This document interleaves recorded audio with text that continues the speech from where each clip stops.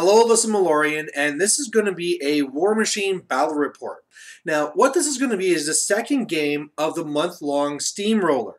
Now, for this week, though, things got messed up. What it's supposed to be is the mission is announced, your opponent is announced, and at some point over the week, you have to arrange when your game's going to be. And we actually had two games where they just could not work it out. There's, you know, one person or the other just was too busy, could not happen. So in this case, I'm going to be playing against another guy who just didn't get a game, but this won't count towards that, but it'll still be the 42 points. We're using our, our lists and all that stuff, and uh, it should be kind of interesting. This is the store owner and his retribution. Uh, he's going to be using Kaelyssa, and he's, he's getting pretty good at doing the caster kill. On my part, I'm going to be using my Saeryn list because I I, love the list, and this is going to be kind of an interesting matchup because Saeryn's very powerful and has some good things about killing off some infantry and stuff like this, but she doesn't like being shot. And there's a lot of shooting in this list. So we'll go over the list in a second. We'll go over the mission, but hey, if nothing else, it should be a lot of fun. Okay.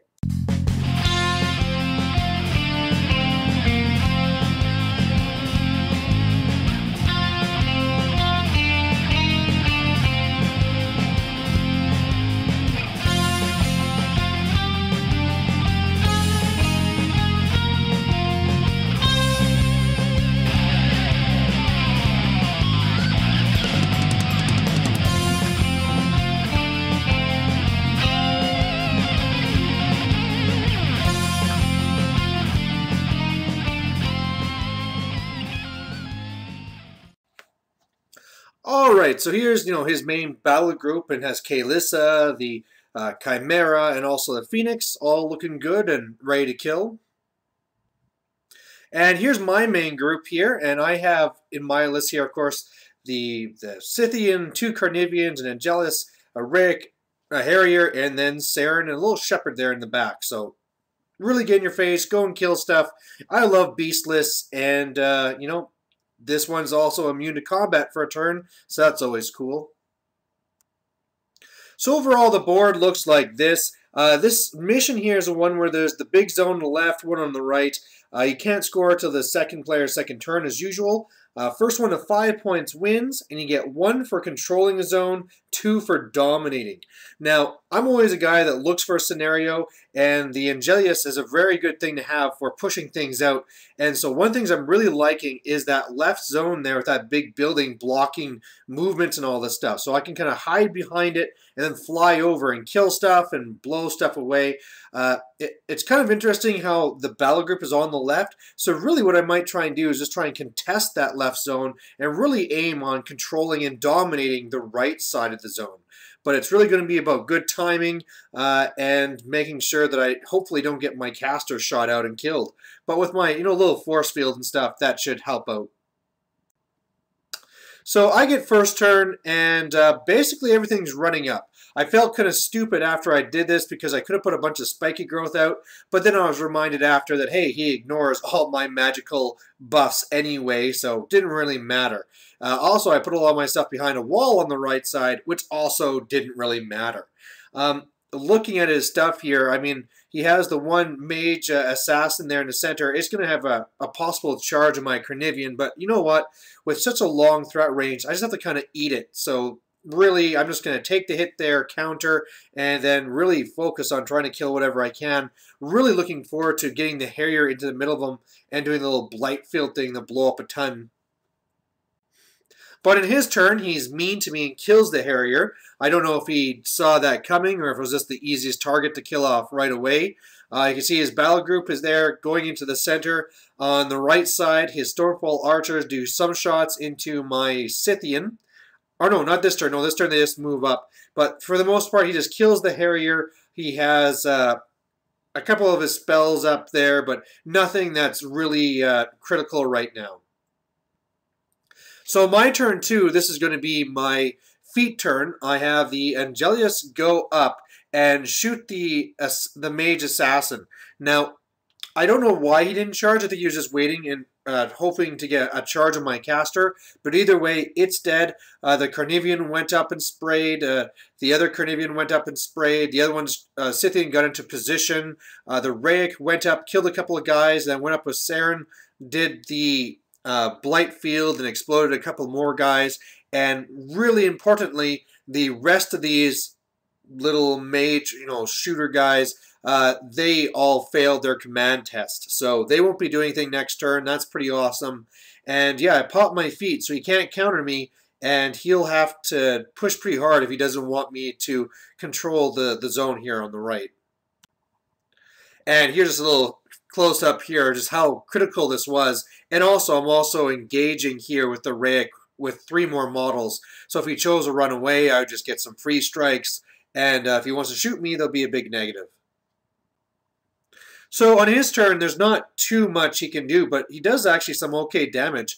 Uh, Kaelyssa goes up and does some shots into my Angelus, does about a third of the damage. Now this really puts her in a dangerous spot, and uh, most of this is because he actually was thinking maybe he could actually take me down, but with a miss and some piss poor damage rolls, did not happen. So I have an opportunity there Otherwise, I really expected his uh, halberdiers to rush into the zone, but once he passed his command test with the uh, little shooters there, the crossbowmen, uh, he then was already contesting, so he didn't really need to dedicate them. So they are pretty far back. They're ready to counter to whatever goes in the middle. Uh, the Stormfall archers do some massive damage to my Scythean on the right, doing about half damage to it. I was pretty impressed of how much they did. And otherwise, that's pretty much it. So now I, I had to really decide, am I going to go for scenario or if I want to go for assassination? And, you know, I'm more of a scenario guy, but it was getting late and I thought, hey, let's go for this assassination. All right, but it failed horribly. So really what happened over here is that, first of all, Saeryn had to come over to be within range for, uh, you know, forcing and all that stuff. So that was kind of dedicating things right away. And once I did that, the Ray came over, it hopped over, and went for a boosted headbutt on Kaelyssa. I missed. All right, whatever. Then from where the Carnivean was, I was able to tell from my measuring my control range that I was within aiming range to do my spray. So I aimed and I did my spray, boosted. I missed. so the Angelus then charges in, boosts to hit, and misses. So just oh, all this stuff could have been so much damage so far. Uh, especially if I would have headbutt, that would have gone through. All these would have auto hit. I buy one more attack. Luckily, that one hits, and it does some okay damage.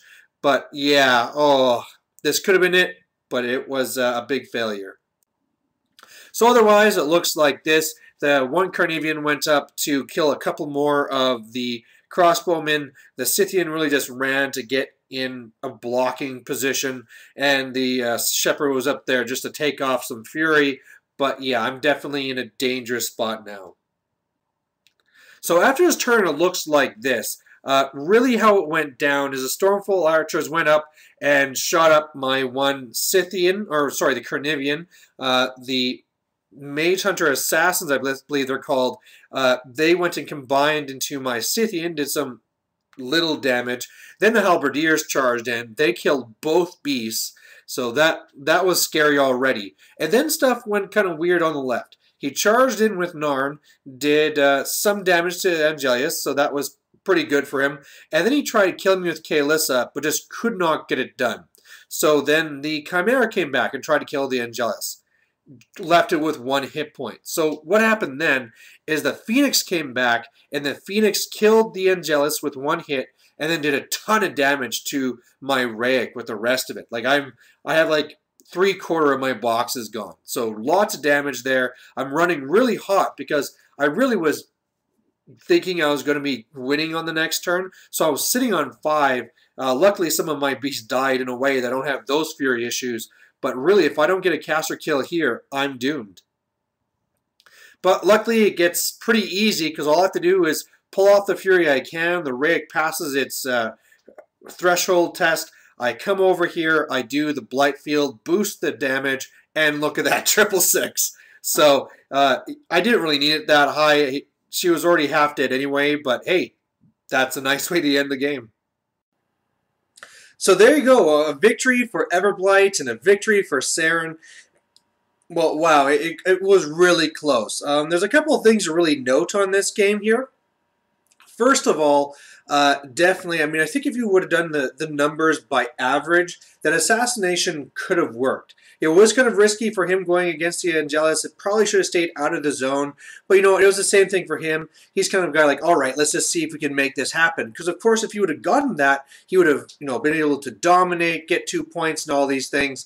So, you know, it was a kind of a risky move to make. It would have done more if he could have done more shooting, say, with, with everything else on it. But really with that, he, he had himself kind of open. But, hey, it paid off in the end. Now, after that, like I said, that could have gone that way. But another thing he could have really done is that when it came to his next turn there, he had three focus on each of his jacks, and I really was worried that he was going to be sending his jacks off to actually go and kill my caster. Now, he'd have a free strike from the Raek, a free strike from the uh, Angelus, and I'd have a bunch of transfers. But the big thing is there is that once you got to me, I'd be, you know, in a lot of trouble, especially once you charged in. Uh, the Angelus was already maxed out. Like it's even if I transfer things out, it's really going off and slaughtering my guys, right? So maybe you could have pulled something there, but I did have a lot of transfers. It was kind of a, a weird situation where, you know, even though the assassination failed, I still had these very threatening models all around the, the caster there. So you really had to get rid of them. Uh, one of the things that I really took from this that I never really thought of before, though, is actually the use of the, the, blight, the Blightbringer to actually kill casters. I never really classified that as a caster killer before. It was always an infantry swarm killer, right? If there's something with high defense, send in the Harrier, do the Blightbringer, blow them all up. But, you know, casters, especially the high defense ones, don't have a lot of armor. It's an automatic POW 12. You boost that, it, it's a good way to go. I mean, it's it's a lot of focus, or fury rather. It's going to be a 5 investment to make it happen. But, you know, like right here, I mean, that's all I need. I mean, 666 was crazy, but it was really all I needed. Now, one of the things that happened after the game is that when I started adding up all of his stuff, he's actually three points short. So I'm not sure whether he thought it was going to be a 40-point game as opposed to the 42 that the campaign was supposed to be, or I think in his campaign list, or rather the steamroller list, he actually has Eiryss in there. So that could have actually made a difference. Um, of course, I mean, Eiryss with me being able to have uh, my the shooting that I do have and the, the of Sight, maybe I could have just sniped her anyway, but definitely that's something to keep in mind that he was three points below uh, where I was. So that definitely was a factor. Either way, it was a fun game, uh, crazy things kind of happening, and uh, feeling pretty lucky to come out of this one with the win. So thanks for watching. Bye.